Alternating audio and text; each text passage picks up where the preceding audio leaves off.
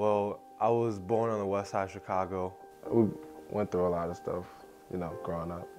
We we always used to play ball in the house low key. And I moved to countryside. Definitely my first memories playing basketball was going to this park by my house called Ideal Elementary School Park. And I always thought he was the best the best player out there. We'd be up there from like probably 8 a.m. to like 6 p.m. And he didn't get caught up in travel soccer. He didn't get caught up in travel baseball. And so I think that was a big advantage that he had.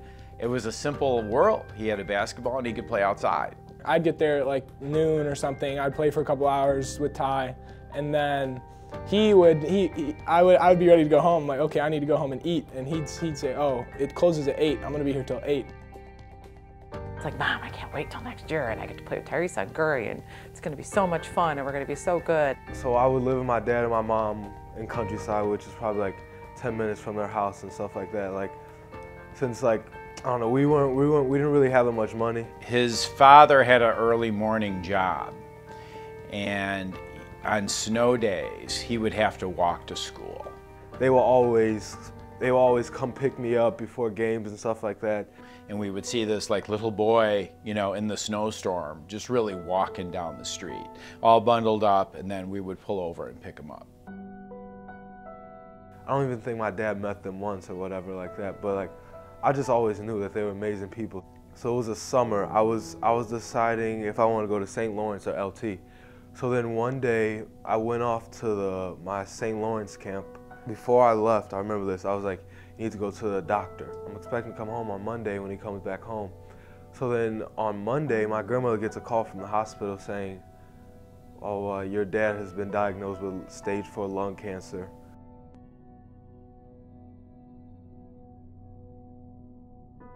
they basically told, my mom told me, uh, and he told me, that he had about a couple months, three months, maybe a year to live. He was at the LaGrange Hospital. The last words he said to me before he passed away, he was like, who are you staying with? I told him my grandmother. He, he gave me like a nod. He was like, okay. And then I get, I said my goodbyes or whatever, thinking thinking I'm come, gonna come back and visit because the doctor said he had four more months. Two days later, my grandmother gets a call. Your dad just passed away. Uh, when his father died, he had not told us that there were any issues. He put us all into a group convo and just straight up told us, like, my dad passed away. I'm gonna have to move to the city. And I hear Bill on the phone going, oh, that's awful. Oh, that's awful. That's awful. And then I heard him say, well, if he needs somewhere to stay, he can stay here and go to school. At the funeral, I remember Mrs. Sloan coming up to talk to my grandmother. She was like, Tyrese could come stay with us to finish out his year of Gurrie or something like that. But it just seemed natural because, you know, they'd already been picking him up and he had already kind of been a little bit part of like our family. I like that idea a lot. Like I wanted to go back to my friends, like where I was living, it was amazing. Like I remember the night before we went to go pick him up and laying in bed and thinking, we didn't really know, I mean, we knew Tyrese, but we didn't really know him. And I, I, went into, you know, his neighborhood, which is a fine neighborhood, and there was basketball courts there. I'd be like, Tyrese, you know, do you play basketball right here? He's like, no, you know, my grandmother doesn't let me. They had a shooting there.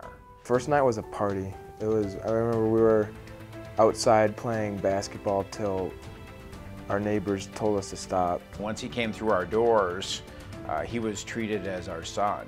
All the stuff that we taught Charlie and Matt from when they were born Tyrese had to have a crash course and learn it all in the very short time of like how we operated and our expectations and everything like that. There easily could have been a lot of problems, but he was really good at just like anytime I did something stupid or mean to him, he would just let it go. When uh, my dad passed away, I went in like a stage where I didn't want to do anything. And basketball, was, I love basketball, it was my passion. I just, I just didn't want to play anymore because it's like, I just, like, somebody I love about to get taken away from me. The main thing that got me out of that was my Uncle Thomas. Like, he saw I was down and stuff. He understood all that. But he also told me, he was like, you have a gift in basketball. He's like, you need to use it. He let the bad motivate him and let all the, you feel me, the negative make him go stronger.